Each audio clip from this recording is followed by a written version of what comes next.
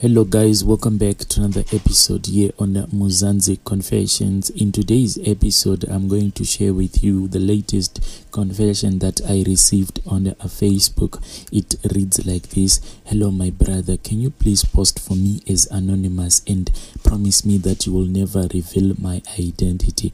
My story goes like this I am a man who is aged 52 and I'm also into this business of transporting goods, the logistic business. I was given a stick of matches by this guy.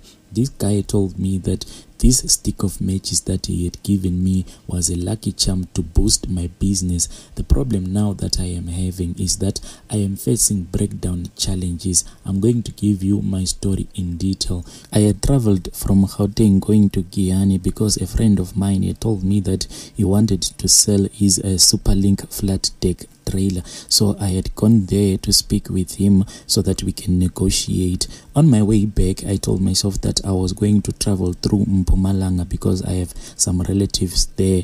On my way from Giyani to Mpumalanga, there was this woman who stopped me at the hiking spot. Usually, I don't pick up people, but this woman, she was really beautiful. Her skin, she was like, she was just like a colored. So I told myself that I was going to pick her up. Maybe as time goes on, me and her, we could sort out something. As we were traveling, she then told me that originally she is from Mozambique, but her father is a South African. As we were traveling, I could see that already she had fallen for me because when she looked at me and I looked at her back, she would just look down and begin to smile. Eventually, she told me that she had developed feelings for me. Me, like a confused fool, I took out my phone, then I opened my Capitec bank account. That's when our relationship started because on my bank statement, she could see that at one point in time, my bank account could be logged at something like 3.5 million rand, sometimes 2.5 million rands, because at that time I had gotten hold of this contract whereby I was delivering some equipment. There was a power station that was being built in Zim, and also there was a mine that was being built in Zambia. So my trucks were going there. Then, out of nowhere, things just fell down. She asked me what had happened. That's when I told her that in 2020 I ventured into the logistic business, and at first everything was good. I was earning good money. Then, after something like two years, everything just went down. My business was so hard. As if that was not enough, I began to supply Eskom with coal, but those loads, nothing came out of it because the guys at the top who had supplied us with the 10 defenders they got arrested for corruption even though myself i was never involved in any kind of corruption in my life. But for those loads i didn't get paid anything. I tried to go to the lawyers but nothing happened. You won't believe what happened next. That mine that was being built in zambia we then got a contract whereby we were supposed to deliver some abnormal loads to zambia but i was so unfortunate that on the first load the load tipped over. What happened is that i hired this driver. This driver lied to me that he had experienced in driving these abnormal trucks. Well he drove very well from Gauteng. When he crossed the border we received the first payment. It was 1.5 million rands. Then when he was into zimbabwe that's when he lost the load. It was so difficult for me because i had to hire a towing truck another truck another trailer and also a crane to lift off the dumping truck because it had slipped off from their trailer. It was so difficult for me, my brother, when they told me that for them just to cross the border and reach the place whereby my trucks had just had an accident, they gave me a quotation of 65,000 rands. And mind you, this company is already based in Polokwane. This other friend of mine, he used to tell me that when you are in the trucking business, on a single day, you can spend more than 1.5 million rands when things go bad for you. And I never believe it. But on this day, that's when I saw that a million rands, it's nothing. It can be blown over in a single day because I was making payments to this company, making payments to that company. And mind you, some of my trucks were still being loaded in Gauteng and they didn't have any fuel. They were supposed to be given money for fuel for the toll gates and everything at the border. And already I had blown a lot of money. I sat down when I looked at my bank balance that the money that was remaining in my bank balance, it was not even going to be enough to make sure that all of my trucks were going to cross the border. And on the Zambian side, the Chinese were very angry at me and I looked like a small amateur. I was like a small boy now in the field as if I didn't know what I was doing. Even the guy who had given me these laws, he called me and he said, My man, you have messed up big time. So as I was explaining my situation to this woman who was in my car, she then told me that she knew someone who would be able to help me out. So later on, we planned to travel back to Mpumalanga. Then I met one of her relatives. Then, when I was speaking to the relative, he then told me that he knew how to remove the bad luck that was on me. He told me that this bad luck was from my family. Some of my family members they were so jealousy of how my business was expanding. He even blamed me and he told me that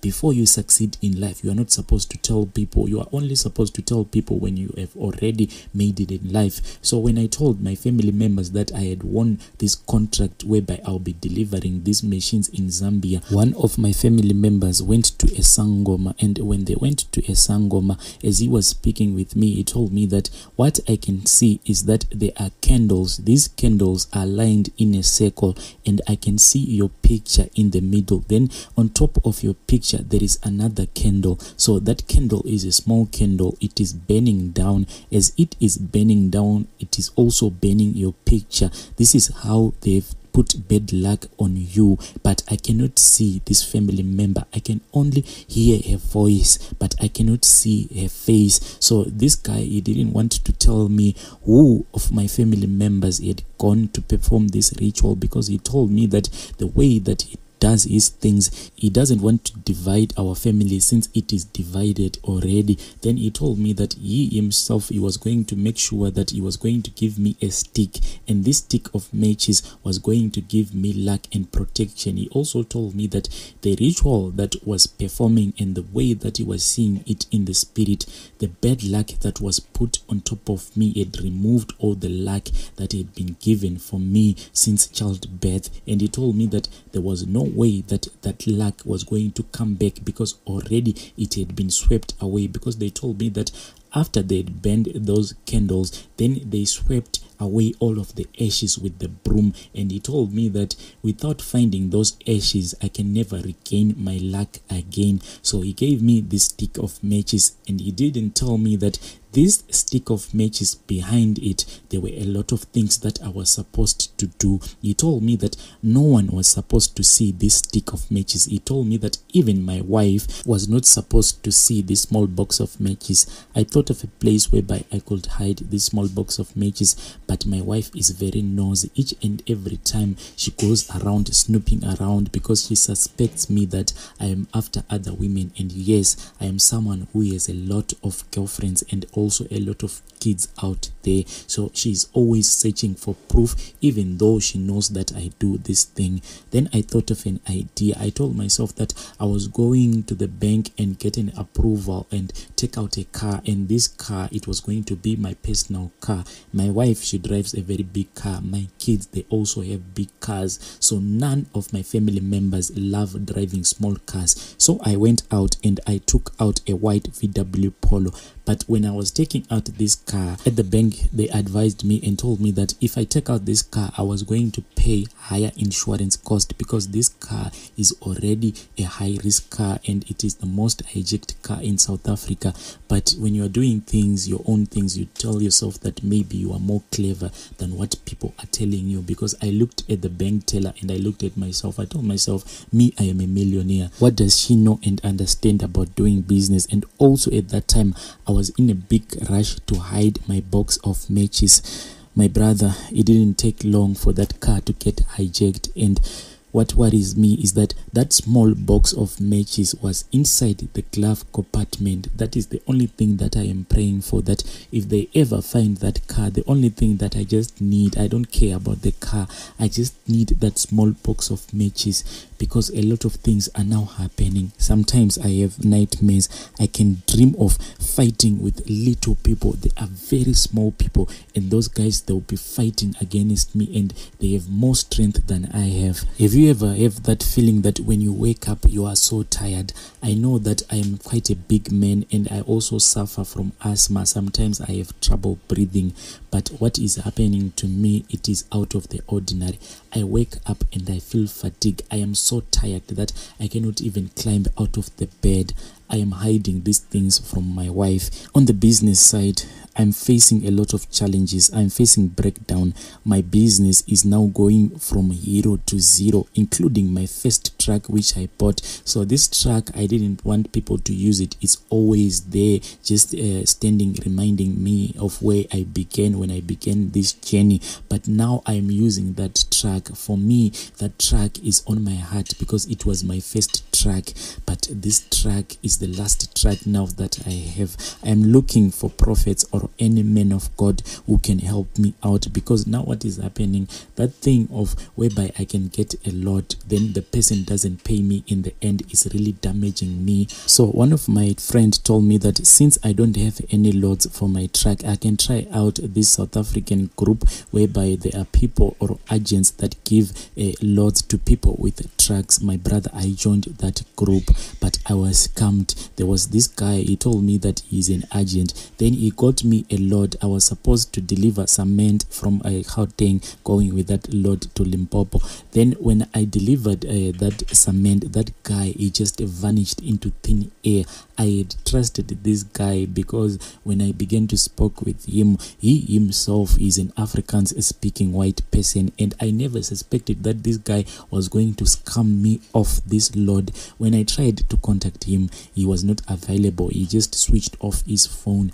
I burned my tires from my truck from Gauteng to Limpopo for nothing. It cost a lot of money to pour diesel into that truck from Gauteng to Limpopo and the back load it was an empty back load so I made a double loss on a single load my brother I'm looking for anyone who can help me out but as we speak right now I don't have any money that I can pay someone to help me out. Some of the people they told me that I should bring one of these so-called prophets to my house then they can cleanse my house. So the other person told me that they can do it for me but the money that they are charging me is quite a lot. I cannot afford it anymore. I'm actually thinking of selling my house so that at least maybe I can repair some of my trucks. My brother, my trucks, I know that now they're just moving graveyards. I was at the traffic department. I was just checking some of the credits that I have on my tracks because I have been unable to pay some of the backlog that is in my system. They told me that the money that I was supposed to pay so that I can renew the license disc on these tracks it's 78,000 rands. My brother, these discs are about to expire and I don't know where I am going to get that money. Even my workers this month, I was not able to pay them full salary for a truck driver I gave them 4,000 rands each for the past month. My brother, I don't know if I'm going to survive this. I think that I was just born to suffer and I was born for this bad luck to happen to me.